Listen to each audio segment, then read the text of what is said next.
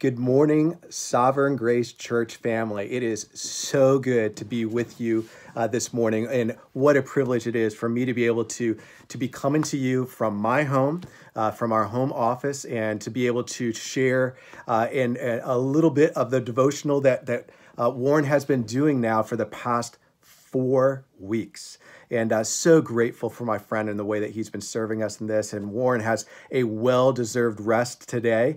Uh, and so I'm going to go ahead and, and, take this one, and you're going to be able to experience and hear from another one of our pastors here, Andrew, who will be sharing tomorrow. But uh, really grateful for the ways that Warren has served us and provided us with God's word on a daily basis. Uh, and he's been laboring hard for us, church, because he loves us uh, and he desires to care for us. And so grateful for my friend and the way that he's done that. And and again, I have the privilege to be able to sit in this chair today uh, and to be able to do this and open God's word with you as we share uh, in God's word and in hearing from what uh, His word has to say to us today in the midst of a crazy pandemic uh, one that is unprecedented, unprecedented in my lifetime.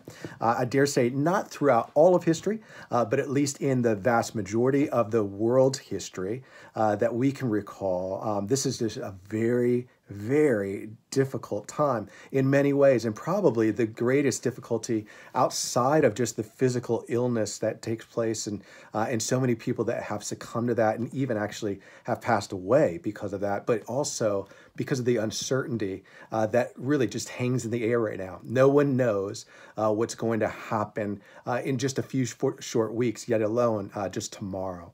Um, and in the midst of that, it is so good to be able to turn to God's word and know and be reminded that there is someone who does know, uh, who holds history all in his hands, um, and he is good and is loving and is caring for his ch- children and his people even today. Uh, today's psalm that we're going to be reading is Psalm 103. It's a very familiar psalm.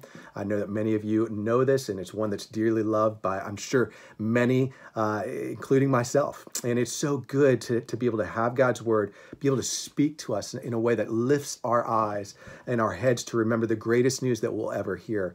Greater news than uh, the, the call of the pandemic being over and you can return back to jobs, to workplaces, to normal life, if you will. You can give people a high five uh, and you can hug people. Well, a greater news than all of that, the end of a pandemic, is what we have preserved here in Psalm 103 for us.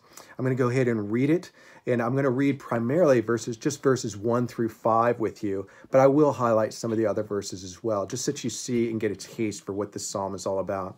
This is a psalm of David. And it starts off with this Psalm 103, verse 1. Bless the Lord, O my soul, and all that is within me, bless his holy name. Bless the Lord, O my soul, and forget not all his benefits, who forgives all your iniquity, who heals all your diseases, who redeems your life from the pit, who crowns you with steadfast love and mercy, and satisfies you with good, so that your youth is renewed like the eagles. Now, I love the beginning of this psalm as it repeats itself in the emphasis in verses 1 and 2, where it just says to us, Bless the Lord, O my soul. And all that is with within me, bless his holy name. And then verse 2 kicks it right back up again, Bless the Lord, O my soul. And what we find at the end of verse 2 is the purpose, if you will, for why David wrote this communal song that was to be sung by the church when they gathered together. And in verse 2, it says this this is the express purpose and forget not all his benefits. Now, one of my favorite quotes um, by C.S. Lewis is where he wrote uh, uh, this statement. It says, We need to be reminded more often than we need to be taught. Now, this is an oversimplification because obviously we do need to be taught, but his point is is is really does the sentiment really does hold true with this psalm.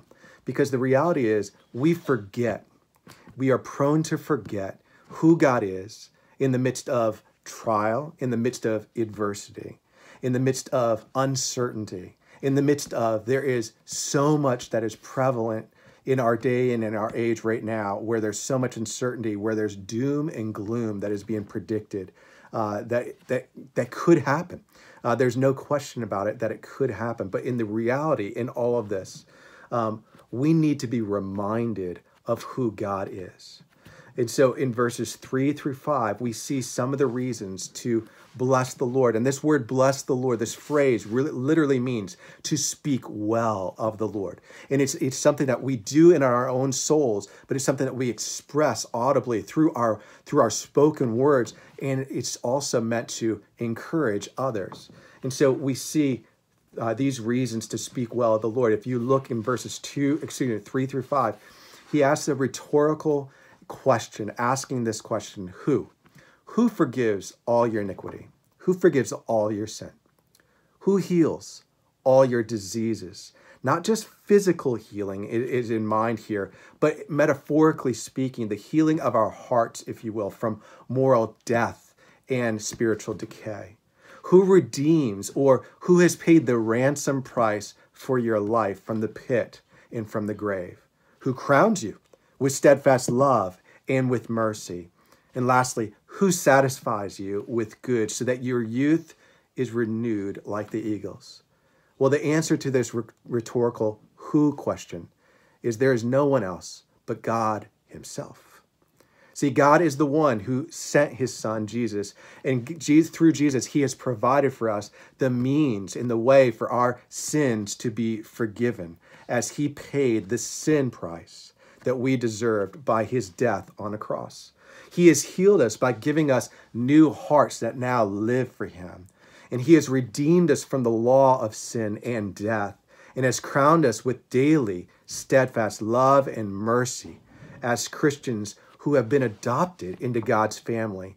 And get this, church, God has committed to satisfying each and every one of our thirsting souls with his goodness. And he desires to do this on a daily basis for us.